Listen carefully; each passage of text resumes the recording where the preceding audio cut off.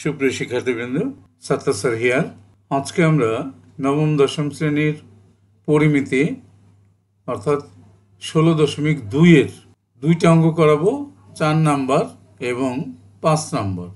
এই দুটো অঙ্ক করাবো আজকে। নিশ্চয়ই তোমরা বইটা খুলে বসেছ এবং আমি বলব যে মনোযোগ দিয়ে বসো। যদি মনোযোগটা না দিতে পারো, তাহলে বইসো না। যখন মনোযোগ দিতে পারো, তখন বসবা। কিন্তু এই অঙ্কগুলো শিখতে হলে তোমাকে অবশ্যই মনোযোগ দিয়ে শিখতে হবে। মনটা অন্য দিকে থাকলে পরে কখনোই তুমি শিখতে পারবে না। ঠিক আছে? তাহলে আমরা শুরু করছি, প্রশ্নটা আগে পড়ে নিই। চার নম্বর প্রশ্নটা আমরা পড়ে নিই, দেখো। একটি বর্গাকার, খেয়াল করো, বর্গাকার। বর্গক্ষেত্র কাকে বলে? যে চতুর্ভুজের চারটি বাহুই পরস্পর সমান এবং প্রতিটা কোণই সমকোণ, সেটাকে বর্গক্ষেত্র বলে।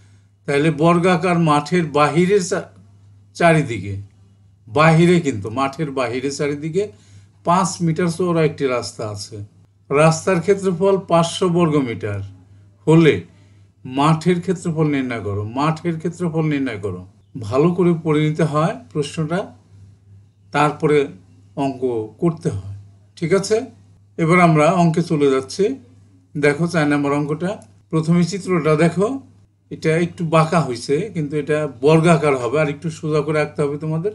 মনে করি বর্গাকার মাঠের এক পাশের দৈর্ঘ্য এক্স মিটার এই যে দেখো, বর্গাকার মাঠটার এক পাশের দৈর্ঘ্য ধরছি আমরা এক্স মিটার বর্গাকার মাঠের ক্ষেত্রফল, বর্গক্ষেত্রের ক্ষেত্রফলের সূত্র আমরা জানি যে বাহু স্কোয়ার বাহু যদি এক্স হয়, তাহলে তাকে স্কোয়ার করলে পরে এক্স স্কোয়ার বর্গমিটার এরপরে দেখো দেওয়া আছে রাস্তার ক্ষেত্রফল, পাঁচশো বর্গমিটার এই যে যে চারিদিকে রাস্তা এটার ক্ষেত্রফল পাঁচশো বর্গমিটার আর এটার প্রস্থটা কিন্তু পাঁচ মিটার। দেওয়া আছে প্রশ্নের মধ্যে। তাহলে দেখো পাঁচশো বর্গমিটার আর আগে যে মাঠটা ছিল, সেটা ছিল এক্স স্কোয়ার।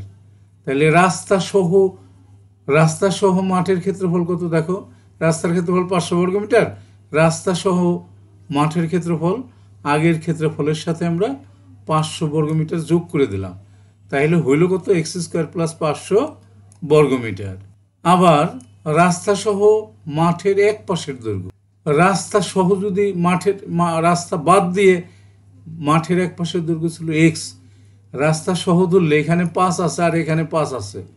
পাঁচ পাঁচ দশ তার সাথে যোগ হয়ে যাবে। এই দেখো রাস্তা সহ মাঠের এক পাশের দৈর্ঘ্য x plus two into five অর্থাৎ এক্স প্লাস টেন তাহলে দেখো রাস্তা সহ মাঠের ক্ষেত্রফল ওই বাহুটার স্কোয়ার করতে হবে x plus ten whole square বর্গমিটার। এটা যদি আমরা এ প্লাস বি হোল স্কোয়ারের সূত্র ফেলি, তাহলে কি হয়? A square plus two a b plus b square x square plus দশ দুগুণে বিশ এক্স প্লাস দশ দশকে একশো হান্ড্রেড বর্গমিটার। প্রশ্ন মতে দেখো, আমরা দুইটা ক্ষেত্রফল বের করলাম, এখানে একটা ক্ষেত্রফল, আর একটা ক্ষেত্রফল কিন্তু যে এখানে বের করেছিলাম, দেখো। হ্যাঁ? রাস্তা সহ মাঠের ক্ষেত্রফল এক্স স্কোয়ার প্লাস পাঁচশো বর্গমিটার। আর এখানে বের করলাম রাস্তা সহ মাঠের ক্ষেত্রফল বের করলাম, এক্স স্কোয়ার প্লাস বিশ এক্স প্লাস একশো। তাহলে এই দুইটা সমান, আমরা প্রশ্ন মতে তাই লিখলাম, এক্স স্কোয়ার প্লাস বিশ এক্স প্লাস একশো equal to x square plus পাঁচশো। এক্স স্কোয়ারটাকে বাম পাশে মাইনাস করে নিয়ে আসলাম, আর এই একশোটাকে ডান পাশে মাইনাস করে নিলাম। তাইলে হইল কত? বিশ এক্স সমান সমান চারশো, এক্স সমান সমান বিশ দিয়ে চারশোকে যদি কাটি তাইলে হবে বিশ। বিশ হলো এক্সের মান বিশ, বর্গাকার মাঠের ক্ষেত্রফল এক্স স্কোয়ার বর্গক্ষেত্রের ক্ষেত্রফল বলছিলাম বাহু স্কোয়ার তাহলে এক্স স্কোয়ার বিশ স্কোয়ার মানে চারশো। চারশো বর্গমিটার। তাহলে আমাদের উত্তরটা কিন্তু হয়ে গেল। নিশ্চয়ই তোমরা বুঝতে পারলা। চার নম্বর অঙ্কটা কিন্তু আমাদের হয়ে গেল। এবার আমরা যাব প্রশ্নে পাঁচ নম্বর প্রশ্নটা আগে দেখে আসি। এই পাঁচ নম্বর প্রশ্নটা কি বলল? দেখো, ভালো করে দেখো। একটি বর্গক্ষেত্রের পরিসীমা। পরিসীমা কাকে বলে? চারিপাশের বাহুর যোগফলটাই পরিসীমা। কিন্তু বর্গক্ষেত্রের পরিসীমা মানে কি?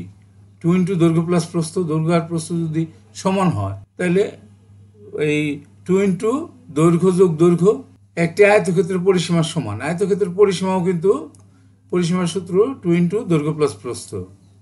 আয়তক্ষেত্রটির দৈর্ঘ্য প্রস্থের তিন গুণ খেয়াল করো, দৈর্ঘ্যটা প্রস্থের তিন গুণ প্রস্থটা ছোট। প্রস্থটাই কিন্তু আমাদের ধরে নিতে হয়। এবং ক্ষেত্রফল সাতশো আটষট্টি বর্গমিটার।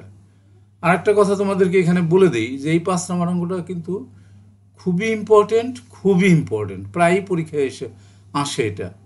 কাজেই এটাকে এটাকে কিন্তু সৃজনশীল আকৃতিতে আসে। তো এই অঙ্কটা পারলে সৃজনশীলটা পারা তোমার জন্য খুবই সহজ হবে। তাহলে কি? ক্ষেত্রফল সাতশো আটষট্টি বর্গমিটার।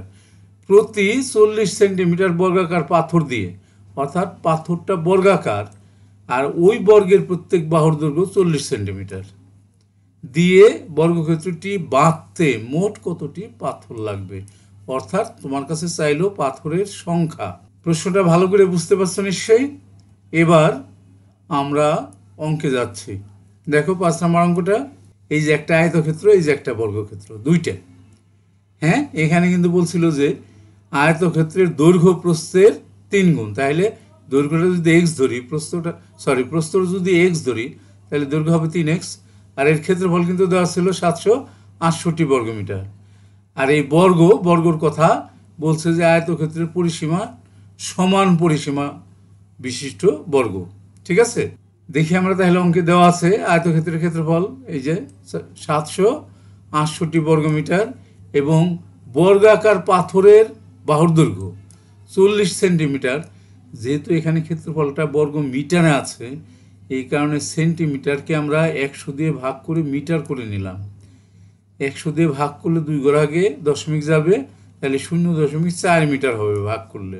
তাহলে বর্গাকার পাথরের এক বাহুর দৈর্ঘ্যটা বের করে রাখলাম। মনে করি আয়তক্ষেত্রের প্রস্থ এক্স মিটার, এই যে চিত্রের মধ্যে আমি বলছিলাম, এই যে প্রস্থটা এক্স মিটার, তখন দৈর্ঘ্যটা হবে থ্রি এক্স তিন গুণ বলছে। আয়তক্ষেত্রের প্রস্থ এক্স মিটার, সুতরাং আয়তক্ষেত্রের দৈর্ঘ্য তিন গুণ তিন এক্স মিটার।